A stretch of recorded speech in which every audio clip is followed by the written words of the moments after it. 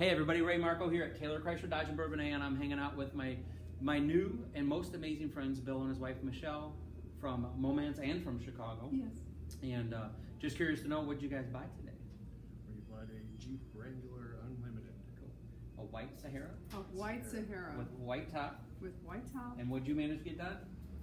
We got wheels switched out because we wanted black Yeah. wheels. That saved you some time and some some effort to switch them out. And I think it looks awesome. It Yes. does. It's Um. So I just want to go on camera and say thank you real quick. I know you need to get some work done, so thank you. Thank you. Thank give you a chance to tell the world how was your experience dealing with me.